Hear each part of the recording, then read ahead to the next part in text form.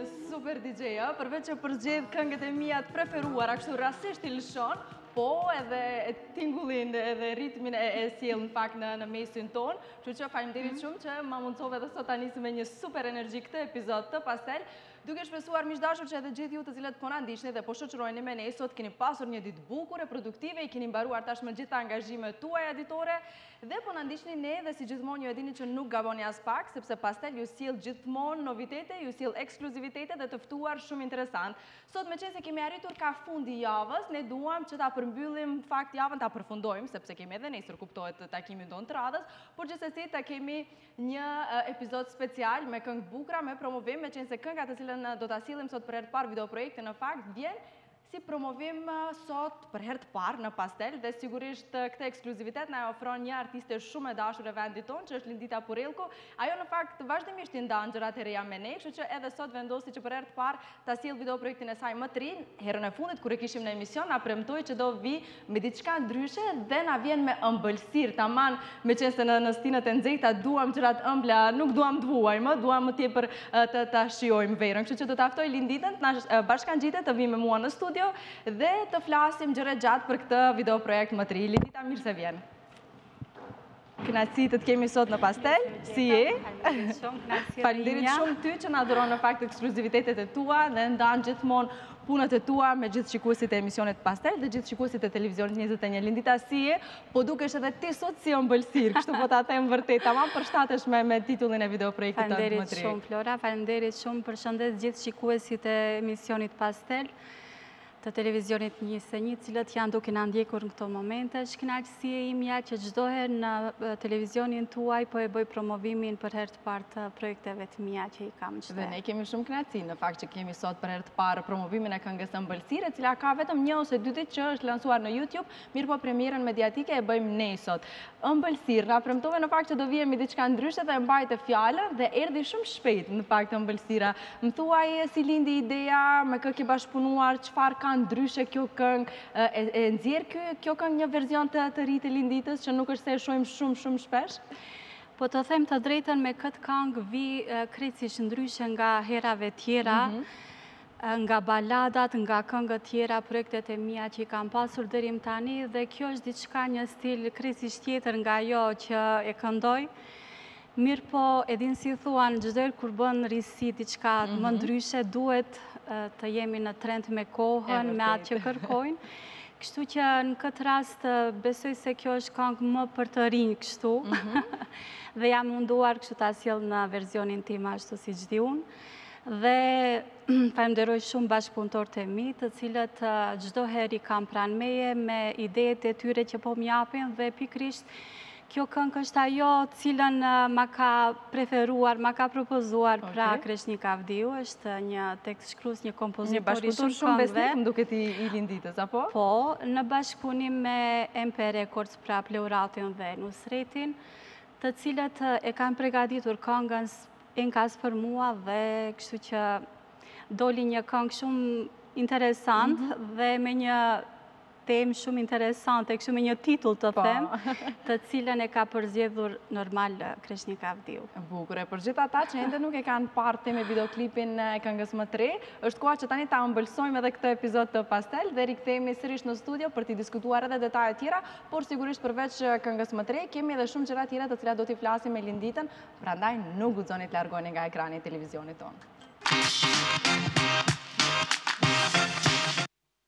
Vërtet një këngë shumë e bukur, shumë ritmike, vërtet Lindita të ngjan shumë ky stil, ky ky zhanër, duhet më, më shpesh me na sjell kësi këngë të bukura. Mirëpo edhe videoklipin, fakt edhe kënga komplet është kurorëzu me një videoklip shumë të bukur që e ka paraqit pjesën më të bukur të të thesarit tonë, që është pa diskutim çarshia. Si kanë rrjedh xhirimet me kë ke ke zgjedh kësaj radhe ta punosh videoklipin, Dhe veçantia është që në këtë videoklip themi aktori kryesor që luan është edhe djali yt. Besoj kjo e ka e ka bërë këtë projekt edhe më të dashur për ty, ë?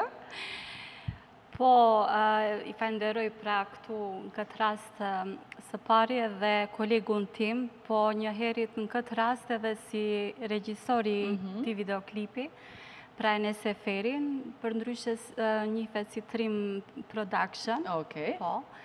është hera e parë që ke bashkëpunuar me Enesin për realizimin e po, një videoklipi? Po, po, është hera e parë, ai ka filluar ka një kohë të shkurt që ka mhm. filluar të bën edhe videoklipe, ka ideja kështu të mira, kështu që kishte dëshirë, po normal ishte edhe dëshira ime, që për të bashkëpunuar mhm. pse jo, dhe më pëlqejnë edhe idetë që i ka dhënë për ta xhiruar në Çarshinë e Shkupit. Edhe paska gjetë pjesë shumë shumë artistike në fakt, e ka paraqit taman e ka nxjerr atë po, atë po. shlagun e çarshisë, shumë bukur. Dhe kështu që në këtë rast falenderoj edhe djalin tim pra mhm. Ritonin, i cili pranoi që të merr pjesë, pak me vështirësi, mirëpo... Të desha të pys se zakonisht është, është kjo pjesa më e vështirë, insistove pak a shumë derisa e binda? Po insistova derisa e binda, po kështu me një shoqe të vetën, Kështu që i falënderoj shumë. Pastaj tjetër ishte që të marrim dy të rinjtë, të cilët mhm. do ta luajnë rolin këtu, kështu që u bë mirë mhm. në një ambient shumë të bukur pra në çarshi, në disa vende kështu, të cilat i kishte përzgjedhur vetë Enesi. Dhe kështu ju falënderojmë gjithve. Mhm. Dhe më the që kohët e fundit ke punuar sigurisht më tepër balada dhe zakonisht veshjet kanë qenë ma klasike, më solemne dhe më the këtu e kam pas pak më merak edhe për zgjedhjen e veshjeve që të përshtatet edhe me këngën edhe me videoklipin. Si ia bëre, ke pasur dikë që të ka dhënë ide ose je gjithmonë ti që i përzgjedh veshjet e pjesën e make-upit dhe gjithçka tjetër? Sepse sot më tregove që je rregullu vetë dhe unë u habita.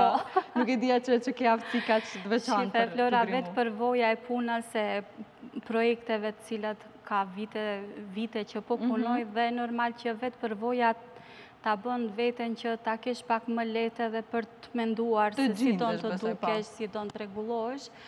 Kështu që kam prirje dhe për t'u rregulluar edhe ashtu siç e kam menduar të dukem në videoklip, diçka pak më verore, më mhm. ndryshe prej herave tjera siç e the.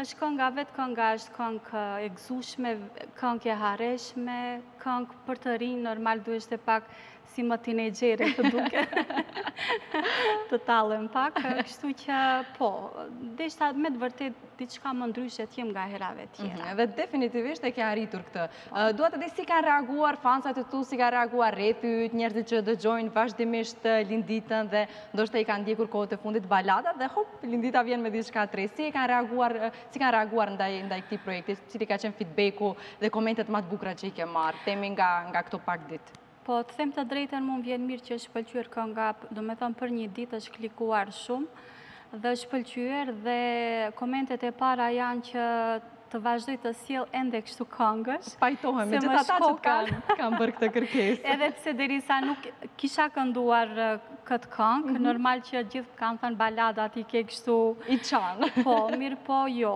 Domethënë mirë është, mirë është që të kem edhe këngë të kësi të këtij zhanri normal, dhe them të drejtën me të vërtetë tash edhe po ndëgjojnë këto këngët pak më ritmike, pak më ndryshe. Sidomos kur vjen vera, nuk e di, lodhemi ndoshta gjatë gjithë vitit duke dëgju balada, duke vujt, taman verën e kemi, duam të bëjmë qejf, po, të knaqemi, po, po. të dëgjojmë këngë që nuk na lodhin shumë. Dhe kjo është nga ato këngë që të ngulitet në kokë, domethënë, sidomos tash në veturë, Do, besoj do, do jetë një, një hit i verës. Kështu që edhe vetë titulli ëmbëlsirë është pak interesant, e din, mm -hmm. marr mhm. komente të ndryshme, shumë titull interesant, kënga shumë e mirë, kështu që ka komente pozitive. Po në momentin e parë që e more tekstin që t'u ofrua kjo këngë, themi, e ndjeve pak si risk, ndoshta që do duhet t'a sfidoje vetën, të zgjedhje një këngë ndryshe nga që ndoshta del pak nga vetja kohëve të fundit të Lindita. Si u ndjeve në momentin që e pranove këngën? E ndjeve pak si dilemë ose dyshim brenda vetes? Besoj që po. Po, normal që po, se thashë, kam bërë këngë më për dasma, këngë popullore, mhm. dhe vetë Kreshniku dhe normal Nusreti dhe Pleurati kanë qenë të tretë ata të cilët më kanë thënë, Linda do të bëjmë ndonjë këngë, tash diçka më në mhm. trend që po ndëgjohet, që po shikohet, Dhe unë realisht ua lashë atyre dhe normal kur e ndëgjova herë të parë pak thashë a do të a do të mundem ta këndoj, a do të më flejë si këngë, mos dukem qesharake, mirëpo, jo, ju përshtata edhe këngës, kështu që besoj dhe shpresoj se do të sjell edhe këngë mhm. tjera kështu. Dhe padyshim Lindita për t'i mbijetuar themi industrisë sonë, duhet patjetër që edhe ju artistët, që ndoshta sillni këngë më të më kualitative të mirëfillta, duhet pak të dilni nga vetja në, në momente të caktuara, sepse fundja kjo është ajo që e do publiku dhe rinia, po jo. Kështu që duhet nganjëherë të përshtatem dhe të delni nga vetja në momente të caktuara. Patjetër, patjetër, mos bëhemi monoton vetëm me, ja, unë për një kohë shumë të shkurt kam sjell tre balada dhe mendoj që ndoshta pak u teprua ajo puna e baladave dhe kjo dul kjo këngë pak më e hareshme nga ato mhm. tjera. Dhe normal që po, duhet t'jemi me trend me kohën, me të rinjtë çfarë duan, çfarë kërkojnë, se fundi neve jemi këtu për adhuruesit tanë të cilët presin nga ne dhe normal që duhet t'bësh diçka ndryshime. Mos bëhesh monotone çdo herë me me stil të të njëjtë. Po. Lindita ke qenë shumë aktive kohëve të fundit, për një periudhë të shkurtër të kemi pas disa herë ke promovuar tre videoklipe the dhe ti, tre këngë, tre balada me tematika të ndjera, me tematika më delikate. Më thuaj, cila nga këto tre balada është është pritur më së miri dhe që ndoshta e ke e ke marrë feedbackun më të madh, themi dhe që je je mahnit nga ajo se si është prit, si është plasuar dhe si është komentuar. Themi, Edhe pse besoj është e vështirë t'i ndash, por gjithsesi nga nga ajo se si e ke ndje suksesin, cila mendon që është plasuar më së miri nga tre baladat? duke marrë parasysh se të tre baladat e kanë tematikat e ndryshme, asnjëra po. me tjetrën nuk është e njëjtë. Domethënë, para viti tre kam sjell një këngë Më fal oj nanë, e mhm. cila është për mua shumë e veçantë, edhe si temë, po edhe si melodi, edhe si këngë. Besoj edhe ka prekur zemrat e gjithë atyre që po, kanë po, humbur po. nënën, besoj kjo është... është një këngë që me të vërtetë është pëlqyër shumë, pastaj pasoi kënga Një mhm. moment, edhe ajo ka atë bukurinë e vet e asaj kënge. Shumë e bukur kënga Një moment. Dhe më pas kam bërë edhe një këngë të cilën nuk e kam promovuar te juve mhm. këtu, është një këngë për jetimë, Ajo u lansua në kohë të muajit të shenjtë të mhm. Ramazanit, ishte një dëshirë e një producenti i cili kishte dëshirë për ta bartë në kanalin e tij, kështu që mund të them se kënga një moment ishte ajo e cila më tepër kështu është pëlqyer si këngë, si projekt, kështu në komplet, po, po, flasim në si këngë, si projekt, kështu që një moment. Bukur. E tash më duket se kjo po ia kalon të tjerave. Ok, si kjo besoj është pjesa më e vështirë për artistin, që kur sjell një projekt që paraprakisht ndoshta projekti është pritur shumë mirë, e keni besoj me merak edhe këtë në qoftë se do plasohet kënga e radhës aq mirë sa kënga paraprake, kështu që besoj që Ëmbëlsira nuk e di se e kam një ndjesi, intuita nuk më gënjen asnjëherë, që do ta tejkalojë edhe një po, moment me, me ajo shifet, shifet edhe prej tash, po. po, edhe njëkohësisht falenderoj shumë edhe produksionin domethonë Baresha, mhm. të cilët çdoherë kanë treguar interesim për të bashkëpunuar me mu dhe e kanë marrë si këngë, si projekt në kanalin e tyre, kështu që i përshëndes shumë. Bukur. Po përveç videoprojekteve muzikore, ne e dimë që sigurisht sezona, themi, juaj e preferuar është edhe sezoni kur nisin dasmat. Kanë nisur dasmat për Linditën, sa je e prenotuar, sa je e rezervuar themi për këtë vit, sepse e dimë që përveç në Maqedoni je shumë e kërkuar edhe në diasporë. Këtë vit si qëndron me këtë pjesë, si do ia bësh, sa ke data të rezervuara deri tani Lindita? Po data ka, domethënë tash do të filloj nga 25 qershor, filloj me dasmat, kështu që deri në gusht i kemi të rezervuara, po, dhe jam, me të vërtetë jam pregaditur kështu mirë, si psiqikisht, si fizikisht, edhe pse është pak e sikletshme për neve këngëtarët tash, ko në kohën, domethonë, verore, duhet kemi kujdes çka pimë, mos ftohemi, mos se, e dini si është, kur të pret një pune, po, po, kështu që... Është pak e sikletshme. Se neve kur e shijojmë dasmën na duket e lejtë, po besoj për artistin nuk është aspak e lejtë kjo pjesë, sepse jo, duhet vazhdimisht ta mbani dinamikën e dasmës, të dini t'i përshtateni edhe trevave edhe ku këndoni, apo jo? Normal, normal është një përgjegjësi shumë e madhe derisa jemi të përzgjedhur neve si këngëtarët e mhm. asaj nate, kështu që normal që është një përgjegjësi shumë shumë e madhe.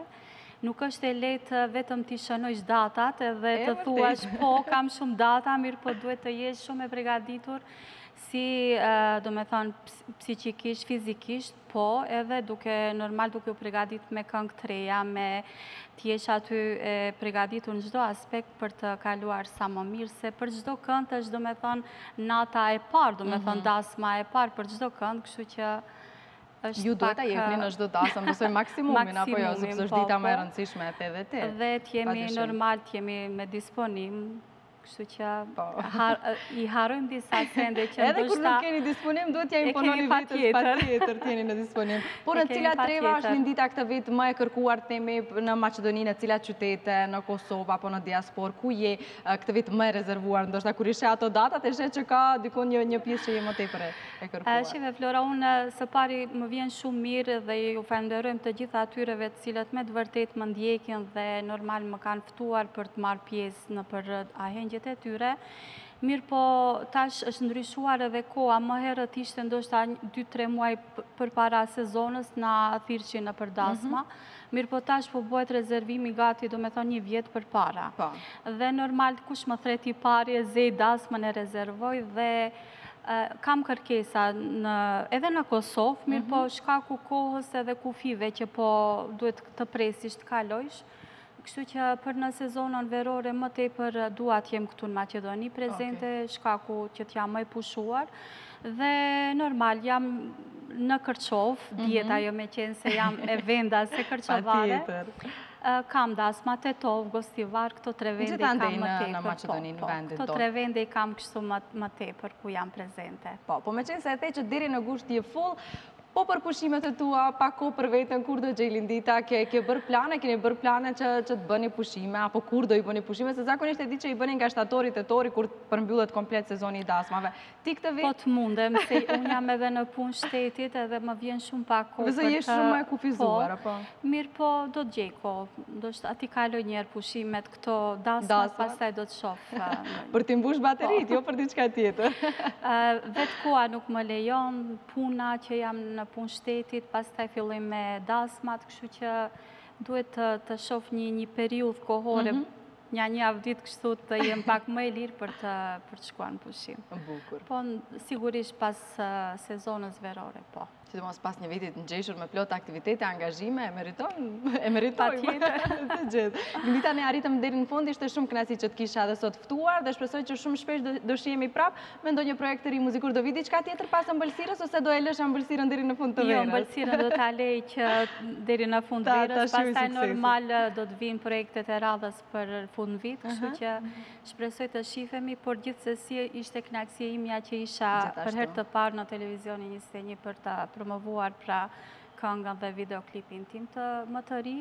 Faleminderit shumë. Edhe për ne është gjithmonë kënaqësi kur të kemi në studio, sepse gjithmonë na e sjell atë qetësin që e ke. Nuk e di, na sjell një energji shumë të bukur sa herë je pjesë e emisionit tonë. Faleminderit shumë që ndan me ne gjithmonë ekskluzivitete. E me qenë se në pjesën e fundit unë përmenda pushimet, në pjesën e dytë do shohim det, se vazhdimisht flasim gjatë gjithë javës, temperaturat e larta, pushime kështu me radhë, mirëpo në pjesën e dytë do t'ju sjellim bukuritë natyrore dhe detin e Ulqinit, mirëpo se për çfarë bëhet fjalë, na ndiqni pas marketingut.